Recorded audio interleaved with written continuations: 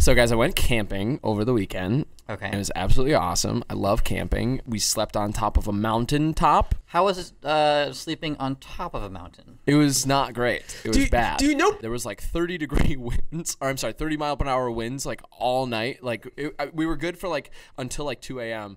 and then uh, and we also were drinking f- fairly heavily. So I was like, my plan was like, oh, like I'll just kind of be in like a nice pass out state and wake up the next morning totally refreshed. But These uh, are all things homeless people do. And I just want to say, Steven, as the as Noah's boss, he left work early to do this. oh, yeah, he, he keeps the life of a homeless Surely, person. surely, on top of this mountain, Yeah. there were a lot of trees to break up the wind. that's not true. That is Oh, not no. true, James. Oh no!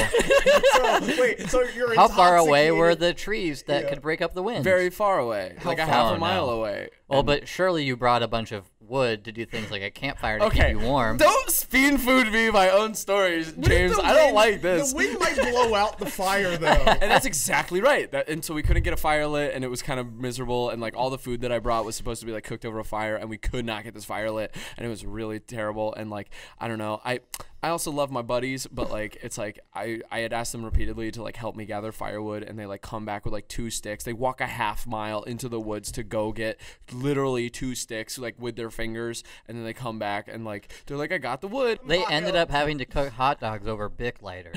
That's not true. I got the fire to start. Did you- Did you have to get a metal trash? It's not. can? No, it's not. It's not true. They cooked hamburgers that way.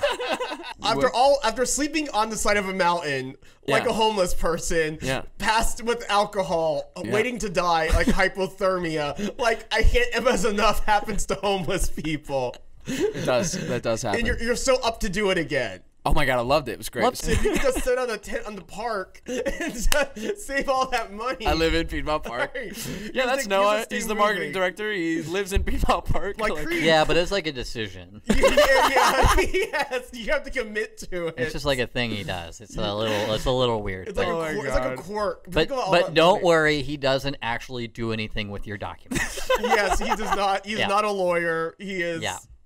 He's not going to appear in court for you. I love Honestly, that. if, you're, if your if your lawyer is homeless, you are going to jail.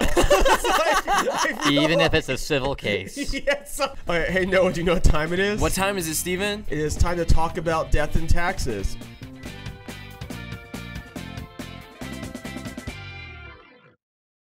Guys, welcome to Let's Talk About Death and Taxes. Uh, on this show, we talk about the two things that Benny Franklin said were inevitable in life death and taxes. My name is Noah Chrysler. I don't know anything about most things. Um, and this are my two good, I was going to say friends, but your colleagues, This right? are? This are? yeah. Yeah. I, I, This I, are- I didn't even get past that. I don't know Yeah. much Yeah. about grammar. This are my two friends. I don't talk too good, but I knows how to host a podcast. yeah. Let's climb on into the legal zone, boys. That's great. So my name is James Champlin, and I'm an attorney, and I want to stop this now and move on. Thank Sounds you. good, yeah. My name is Steven Scriber. I'm also an attorney. I used to be. I taught high school English before I was a lawyer, and a little part of me is dead inside. It's, it's really bad that I didn't pick up on this R as being like a cardinal sin. That's really terrible. Don't worry. It's among them, yes. Yeah. yes. Yep. Murder. Yep. This R. Yep. This, Yeah. uh, Boy, this fell flat. It's- And No, it was a solid You- joke. you I lost just, your list of I thought you were gonna. I thought you were gonna really have like a solid like punchline one at the end. Yeah. Like, Nope. But you're working towards something. Sometimes the best punchline is one you expect, but doesn't show up. nice. It's like Seinfeld. If George makes a line, you have to leave. you, but you missed your high point. it's like, uh-huh. I love George, man. I've been described as George Costanza. Um, guys, if you th- this is not a, an advice show because that would be bad if you saw a show and you were like, oh, that's official legal advice. Um, this is more of like a lot. This is more of an entertainment thing. Legal information and entertainment. yeah. Exactly. Um, if you would like a real some some real advice, uh, give us a call 404-939-7562 or send us an email info at modernestateplanning.com. Um, we'd love to help you. We're, we're an estate planning law firm, so we'd love to help you plan your will, estate. Yeah. Anything. Yeah. Anything regarding wills, trust, um, protecting people. Bird law. Bird law, Bird- law. and I dabble in bird law, milk steak. avian law, whatever. or- or- yeah.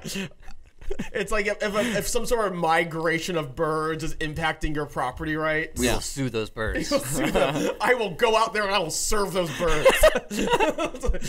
Old man served. yells at You've been sky. yes. Yes. I love It's Always Sunny. That show's the best. Um, this episode is also going to be a little bit different. We are mainly going to talk about objections uh, to to hey, I don't I don't need an estate plan. I don't need one of those things. Like that sounds expensive and stupid. Why would I ever? Uh, when I die, I, I'm not going to be around for it. Like this isn't my problem to deal with. It's going to be my inheritors' problems, right? We're going to deal with those. One of the most common objections that I think we hear is that estate planning is too expensive, um, and that people don't see the, you know, they look at the price tag it's like that's too much. Um, so what would you say to that? So, I guess the first part is how much does it cost to what's the value to you of like looking at your kids or looking at your spouse and telling them that I don't have a plan because I don't want to pay for it. But in a more cynical, less outright legal way, um, dying without an estate plan and having an actual fight over the estates, at least literally just filing stuff with the court, um, is more expensive than the most basic estate plan we sell. Um, and even the most expensive plan I sell is still cheaper than a heated probate litigation where I've charged 20, 30, 40,000 over the course of like a couple of years and no one um that really benefited other than me and probably the other attorneys. Right. So The if- family kind of got screwed. They have yeah, to pay this if your giant goal bill. is not to pay a lawyer a lot of money, yeah. um, you can whatever that is take care of at the front end. Um, So I think I think the one of the most interesting parts of that is you know the base package is going to be cheaper than like doing just like basically doing the documents. even like, the most the expensive, even the, the average package is like the packages that 95% of my clients pay or, or every one of them is cheaper than a litigated probate case. yeah Yeah. And and another thing that you get from that is, you know, when there is not something in place or when something's in place that doesn't work, you wind up spending a lot more time or your family members wind up spending a lot more time after you die trying to get this sorted out. So it's going to wind up costing them a lot of money and also a lot of effort when they should be um, kind of grieving you. That's going to be their last and moving on. That's going to be their last memory of you is going into the courthouse to deal with a bunch of stuff because for whatever reason it didn't get taken care of earlier. Mm-hmm. So whatever it costs, I mean, honestly, for our firm, our firm individual, we have payment plans, lots of other structures to make it work for most people, Mm-hmm. but it's always more expensive than doing nothing. Doing nothing has its own cost um, of its own. So Yeah. you just don't feel those now. yeah Yeah. Penny it's, wise, it's pound something foolish. where you know you a lot of people look at it as a cost when in reality it's an investment. Yeah. You're you're paying this money now to avoid all the expense and the headache and the heartache down the road. And you know you'll. Just one of a few things where like you have insurance, you don't know if the house will catch on fire, you don't know if you'll have a car accident. But with an estate plan, barring extremely unforeseen circumstances like be, literally being Jesus or something, you will probably no, he- die. he And- died. and, then he, then he went back up. That's true. He came back from the dead and then died again. Yeah, he Yeah. died twice. So so he needed two estate plans. Right. Okay. But anyway, that, that that whole point though, you will you will use this. It will be a thing that gets used. Right, right. Um, for better or worse, and so you better have. It's better to have a plan now. Yeah. Than to let someone else impose their plan on you later. I do think though that that's a very interesting point from just a from a I mean taking all the emotional context out of it like you know even just from a financial standpoint like it makes financial sense to do this like yeah it's not mm-hmm. cheap but like it's going to be one of the most competitive options for getting this to happen right Yes, distributing your things by far, uh, and I would much rather. It is much easier for me to plan your estate to do your probate litigation. I hate your probate litigation Mm-hmm. because there's no way that you'll come out of it with your family in the same position as they were before. right everybody's oh. going to hate each other pretty much or Yeah, exactly. maybe not maybe not hate each other We've but had like, it's gonna mediations, be like different. James was talking about. We were Yeah. literally someone died and their children were screaming at each other, Screaming. over, and that's something that we and could all have those avoided. little underlying things that were always below the surface, maybe didn't present. You know, I mean, we've we've had clients who say like, we have never had a problem in life. Like we, Until- we never had a problem until this came up. Until their and parent now died, usually. all this Who was the stuff is coming to the surface. That's wild. And it's and it's it's really sad. Cool yeah, yeah. but per, pl- plan now. so It's Steven, that's too expensive. What one line summary of a response to that? it's too expensive to not plan. Sweet. Cool. Then we fade to black and there's a call to action. I so I really liked the um sorry, this is like You're good. non You're fine. This is Let's- outside of the let's podcast, talk baseball. right? No, I mean I was going to So include it. You guys Steven, how I like the spot where you're like, you don't know if you're going to use insurance, but you know you're going to use your estate plan. Yeah. I, I did get I think by we need to get Yeah. one on the books where like you get through that quickly. Yeah. Yes. Without the like sidetrack. Just like Yeah. get Without that Jesus. out there. That's Yeah. a great. It's like, that's a fuck, I really good my, like, sidetrack. yeah. No, That's it a really good great. one. It's a good, so yeah. Um, yeah, cool. Um, no, and we've got we've got seven more opportunities to do that. Yeah. Um, cool. Okay, I'm gonna keep once again like my um Trump thing from last week. I'm gonna not land it successfully the next time. Yeah, so we're gonna we're gonna wait and we're gonna get you warmed up again. I'm gonna be like, hey Steve, what was the thing you said about insurance? and I'll be like blah blah blah blah blah. And I'm like, Fuck! I had it. I was in my grasp. And I dropped I don't even remember it. what it was I last was like, week. Trump yeah. and I have the same amount of the same chance of being president in Yeah. January. Yeah. And I Yeah, had it. really I had funny. it in my hands. Oh, it was so Yeah, funny. I even liked. I thought the fumble was funnier than even the line. Just like, Yep. just the, oh man, the idea of oh, I built this up. Okay, um, cool. Uh, cool. Another objection that we hear, you know, is like, hey, like I'm already married. I don't think I need something like this, you know. So, so what would you say to somebody who's married and doesn't think they need an estate plan? So, the first thing I would do is make sure you don't need it. So, at least talk with an attorney and make an informed decision. So, it's not my job to, I'm not going to force you to make a plan that you don't think you'll need, but I want to make sure that you're clear on what the implications of not planning are. I mean, you might be perfectly happy with the outcome of that, but I want you to come at that with all the data to make that decision. Because if kind of one of those things are if you don't make a decision to control your life, your legacy, your destiny, your family, as far as how you leave stuff to them, someone else will, and um, they will not get. They will. They will take the chance to do that. Who who could that someone else be? That can be the state. That can be your family. That could be someone who happens to get themselves added to your account as like a whatever power attorney agent, just, or it could literally be anyone without a game plan, and you kind of leave yourself at the mercy of and leave everything that you worked for at the legacy of other people. Right. Um, and hopefully you trust with other people. If you're if you're perfectly happy with your spouse and you have nothing else going on, just know that if you die and your spe- and you leave everything to your spouse, then your spouse gets remarried.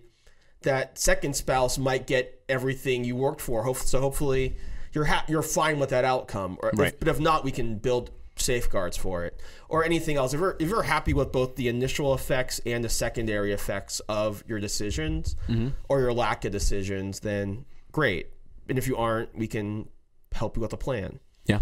No, it makes sense. Um, cool. So one sentence summary to, I don't think I need it. Uh, what would you respond with? Are you sure? Yeah. yeah, that's that's per- yeah. I would say yeah. yeah. Are you sure? Yeah. Cool.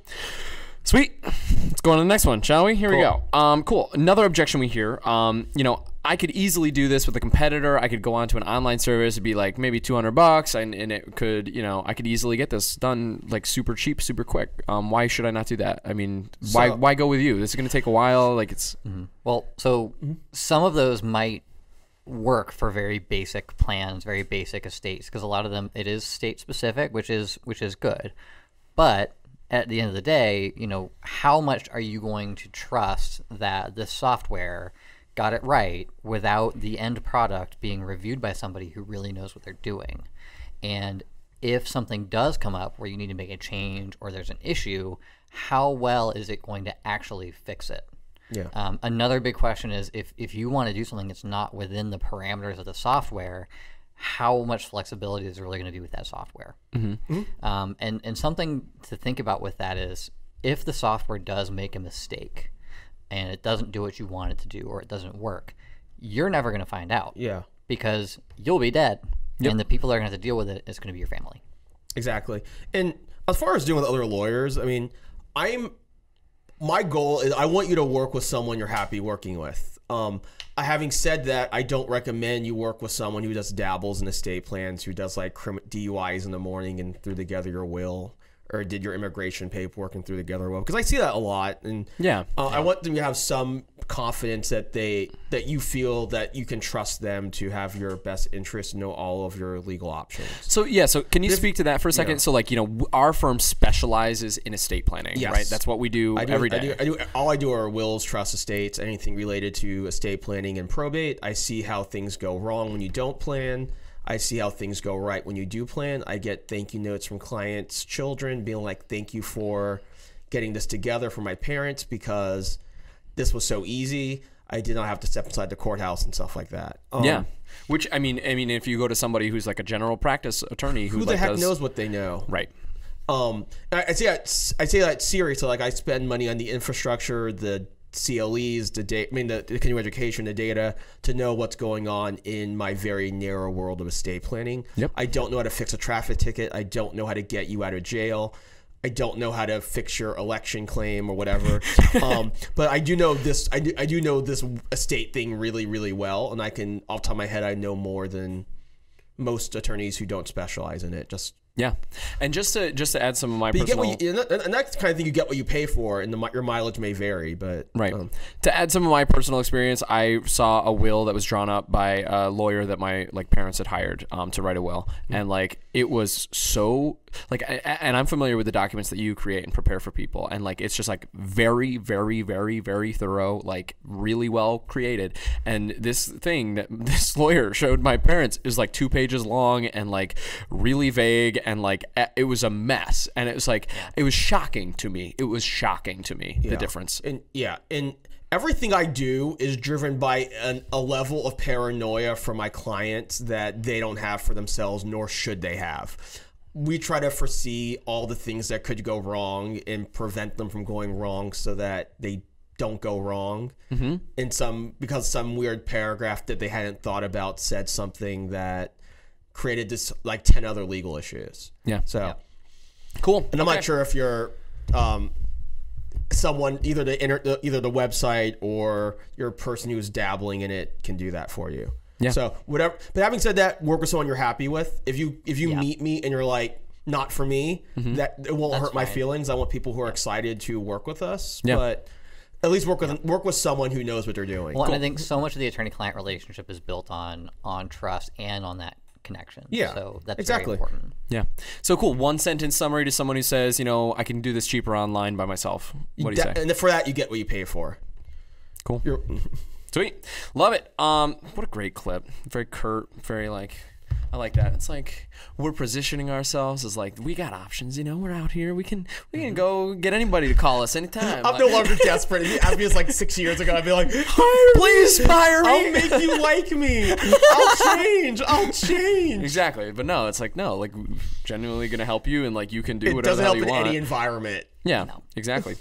Um, cool. Um, all right, James mentioned this one. Um, and just to prepare a little bit, because I know this might not be one of the like more readily available ones that we hear. Um, I need a larger firm, or I needed like a more well-known firm to do this. Um, James mentioned that. So, do you have like a response to that? We'll and we'll do it formally. We'll formally introduce it in a second or two. Um, but you guys got a response ready to go? Sure. Sweet. Yeah. Um, cool. Um, cool. Another objection that we've heard in the past is that, you know, who are you guys? Like, you know, I, I haven't heard much about you. You know, why not go with like a bigger, larger firm that does more things? You know, they have this menu of other stuff that they do. Why not go with one of those people?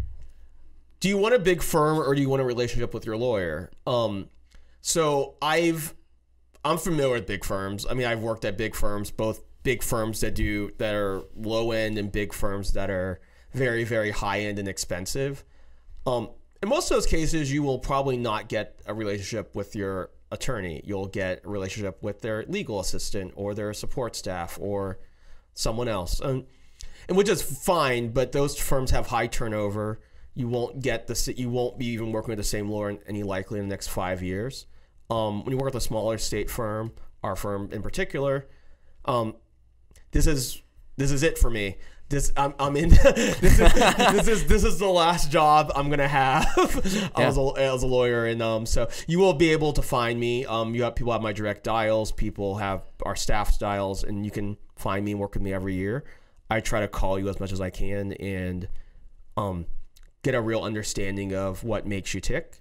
Um, and also we're in a cool building. We have a lot of cool things. If if you're looking for us the experience of a big firm, we have the experience of a big firm. Right. And I have a big I have a Duke degree and all those things that you'll get at a big firm. So Right. you'll have you're gonna get the brain of a big law firm, except you might like like the people better. This might be a bad metaphor, and we can cut this out if you want to, Steven. but uh, one of my favorite shows is The Office, right? And on The Office, like they talk about like like the one thing that keeps them in business, right? Like they compete with Staples, right? And Staples is you know it's Staples, right? Yeah. It- it's paper. Paper is a commodity that everybody needs, and so but they say you know the one area where they like really excel. And I'm not saying that's the one area in which we excel because we excel in many areas, um, but like they have great customer service, right? And they're a small company that can develop like really like strong relationships with other people, and I Yeah. think that that's like a cool uh, thing, like you know, like because that's real, like you know when you, when it's a small company that like. Uh, specializes in one specific area like delivering paper or estate planning then you have you know people who really care and really know their stuff versus a staples where it's like yeah we know about printers and We're paper a- and staplers and In post-its Yeah, and honestly, in big firms, like estate planning is like a department, and somebody's not even a named department. Somebody's like a sub part of the tax department. You're like in the corner of the hallway of the least important part of the firm. Um, you're talking to the firm, like you get to know the owner of the firm or the shareholders and stuff like that. I mean, you aren't going to be hot. You aren't going to be like going through ten layers of red tape to deal with that. So you know the people. You know, I don't know if you need if you have questions. People email me all the time with stuff that comes up in their lives. I know the names of your kids and your dog and whatever you need to. That's Yeah. important to you. And I think the other thing too is you have to look at what are you going to the attorney for. So I think there are people out there where their assets and their schemes are so complicated that they they need a, a, a It firm might need a gonna might need a boutique all or a these firm. Different compartments, right? Um, you know, I, I have friends who work in firms like that, but but these are people who are spending two hundred grand a year on legal fees just to manage their and estate, honestly, in those kind Um, of firms, the estate planning is like an add-on. You just throw it as like an afterthought. right? It's more about managing corporations, doing all this other stuff. So I If you, if you don't own a Fortune 500 company or right something, if, if yeah. your if your net worth is not you know in the three, four, five, six, seven, eight digits, you know. Um, we can help you if they are. I mean, having said that, I can obviously, I we can yeah. help you if they are. Um, But I'm not going to do your but, corporate. But what I'm getting at is, you know, for for 99% of people, what you need is someone that can do the job that you're hiring them for. Mm-hmm. Um, you know, all the other stuff it's just it's just trappings. It's just name brand. It's just it doesn't affect the substance. Right. Cool. Okay. Um, one sentence response to, "Hey, I, I think I need a larger firm. I don't know who you guys are." Get to know us. yes, we're likable. Yeah, no. Let's make one that doesn't sound so sad. I said it. I was like, "Fuck, that sounds bad." All right. Cool. Um, Let's say it one more. Run that one more yeah, time. yeah. yeah. Uh, if you guys had to respond, you know, to a one sentence, one sentence response to, um, you know, "Hey, I think I need a larger firm. I don't know who you guys are." What would you respond with? Do you want to hire a firm or do you want to hire a lawyer? Cool. But yeah, I- Sweet. Exactly. We're the best. Though. Love it. Um, cool. Okay, great. Um, I'm sorry about the Staples allegory. That was. I feel like that was a Oh, no, tangent. no, that was good. Okay. there's, there's, there is like a in law firm world. So there is like obviously the big national firm, not the well, multi office firms that have like like the super large ones that do have estate planning. That's like an after effort with rich people. But also like the low end ones, like the almost like the LegalShield versions of it. Yeah. There's one firm in like Gwinnett that does like a thousand different practice areas as part of like the LegalShield thing, mm-hmm. where you get to talk to a lawyer for like five minutes who churns out a will for you. Um, Wow. And but it's true both sides of it, and I honestly think you should know your lawyer. Mm-hmm. Mm-hmm. Uh, I know your. I mean, I know my clients like details. So if some they were to die, their kids call me, and they're- they I, they know who I am already. Right. We talked about this a little while ago. or I mean, I, I don't know how much we've talked about this, but like the app that I was building in California, like it was like it was like the fastest mobile app that would generate a a will, and like the will that it would generate was absolutely awful, The and like fastest. yeah, it was the fastest like mobile app that could make a will because like it was like a survey, and then it would spit out oh this document. So Oh, this is that's- one of those that is areas where I don't know what speed is. Yeah. Not good. It's on, a, it's on a list of things where Right. speed is not a preferred. It's like it's like the fastest marriage license you could ever get. Like Yeah, that's a it's like you're in terrible. Vegas, you're Yeah, right. it's, right, it's right at the bar. Right. you, you can literally you can get married right before you sober But up. like we, you know, I mean, we Yeah. were we were not That's why it's. I think it's great to do try to like try to do audacious things when you're like you Oh, know no. in your early twenties because then it's like you learned a lot about what you don't know and you get informed very very I mean, quickly. I, wouldn't, I don't- I don't oppose LegalZoom or those things, but Yeah. there's like a you just have to know what you're what you're in it for. Yeah, we were developing an app called Afterbox, um, but we never released it, so nobody has one of our Honestly, janky I wills, do want an afterbox that contains my like my DVD or my my video, like with my random thoughts, so that people can go back to my well of wisdom. Yeah. for generations. My afterbox will just be like cardboard and full of my loose cremains. Remains well, it was, it's a digital. It's a digital for some vault, reason is it what sounds we were my like talking your afterbox. about. Not your afterbox. It's like you mixed your ashes with cranberries. like, like a bog, like Yeah. a. like- I want to be spread into a bog. Interesting. Weird, very weird, craisins or very weird the- and specific. yeah. Um, still great. Okay, um, great. Next objection. Um, I need a larger firm. Um, cool. Next one is I don't need one right now. Um, cool. You ready? Here we go. Bacon on that response. Cool. Um, one of the most common objections we hear, you know, is that people don't think that this should be a priority right now, right? Like I'm gonna I'm gonna do this, but just like I'll do it eventually. Like give me a month or something, and I'll and I'll come back to you. Um, why do you think that is not the greatest mindset out there? So, one thing that um, Sorry, Sorry, can you guys, say that sorry, again? yeah. No, I, I literally, So I literally was gonna burp. I was trying to suppress a burp immediately after opening my mouth, and I was like, You're "God, fine. please don't let me start this answer with a burp." you're fine. Cuts in now. In a couple moments. Okay, okay. Now, can, can When you start to speak, or do you want me to serve you up again? yeah, serve me up again. Okay. Um, so one thing that I think we hear from people from time to time is that uh, you know this is not a priority for them right now, right? They it's something that they'll put on the back burner. They'll get to it in a month from now, um, and then what end up is, you know eventually they they forget to do it. Um, but you know they just they don't make it a priority right now though. So what would you say to people like that? So, you don't know what you don't know. So, in that sense, you don't know how long we're gonna live. Um, we have done estates, literally probated wills, and done stuff for people who are in their 70s and 80s. And then we've had estates where people were in their 20s, 30s, and died unexpectedly. I think it is. I know it's a little bit scary to think about your death, and that's one of the reasons why people deprioritize it. Um, but once you get through that and deal with the fact that this is an inevitability, and more importantly, there are people in your life that you care about. A lot of times with clients, people are dependent on you, like spouses, children, anyone who lives in your household or anything like that, that you need to protect. Um, so it's my is one thing that I implore people to do is to move this up your priority list. Um, get this done to make sure those people are taken care of, and so that you can then go back to doing all the more fun things. Yeah, I think I think uh, one one interesting conversation that we had that I think uh, you know changed a little bit of the way I think about this. You know, we have in our office we have a wall of people who we contacted who we like haven't yet purchased an estate plan from us, and we were talking about you know, hey, it's our personal responsibility to make sure each one of the people on this wall like has their stuff together, right? Yes. Like because they don't view it as a priority. They don't realize that this like terrible nightmare situation is is following them. Um, can you speak to that a little Yeah. bit? So we, yeah. So uh, is my thinking as well that like when people contact us who are kicking the tires on the estate plan, they know it's important.